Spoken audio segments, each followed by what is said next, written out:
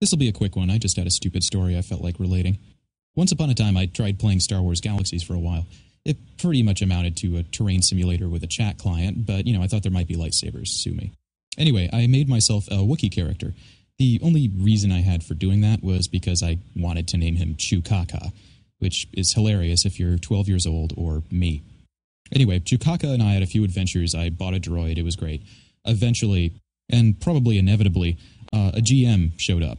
He walks up and very politely tells me I'm going to have to change my name. I've been kind of expecting this for a while, so it's, it's not a huge shock. But I decided to try to feign ignorance and, and just ask him, well, well, why? What's, what's wrong with my name? I'm a Wookiee.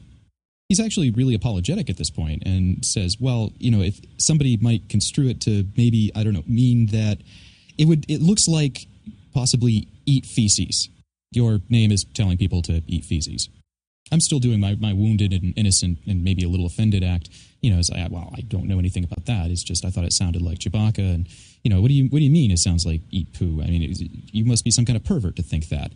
He stops for a while and finally just sort of levelly says, "You know, sir, I'd probably be more inclined to believe you if you didn't own a droid that you had named Shit Stain."